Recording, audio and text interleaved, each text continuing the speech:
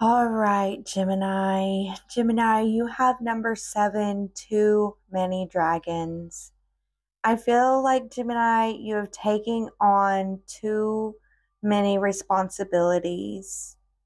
You can't handle it. Look at our little dragon is so little and worn out because and all of them are because she can't take care of them properly.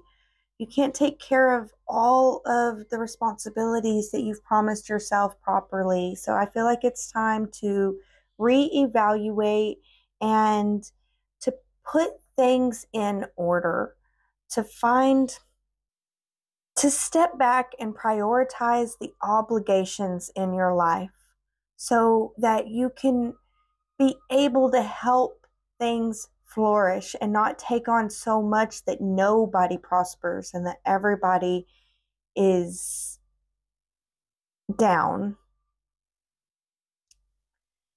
What I'm hearing is when life gets you down, it's telling you to make a change.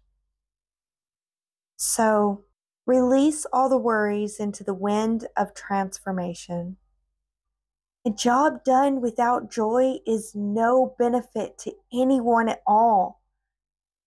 You need to reevaluate your responsibilities and you need to find a way to allow others to take over some of them. Ask yourself why you hang on to these tasks. Are you trying to be a super person in order to please others? Or is it because you feel you have to prove your worth? If it's something that you love to do, you will know it's for you. If not, think it over. It's important to remember to not over schedule.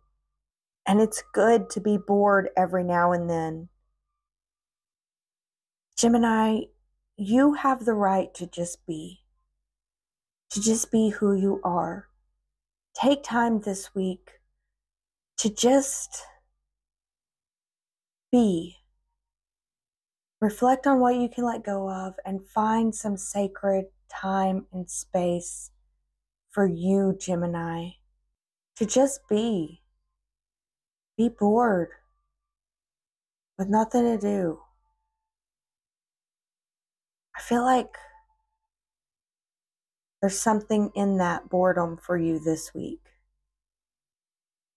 A lesson, an insight, a growth potential and be willing to look at your schedules and to reschedule things so that you have more you time, Gemini, more me time, Gemini, more sacred time for you. All right, Gemini, that is the message that I have for you today. Pass off some of the responsibility this week. Pass off some of the responsibility. You got this, Gemini. I love you guys so much, and I thank you so much for joining me. As always, stay wild and stay magical out there, my friends.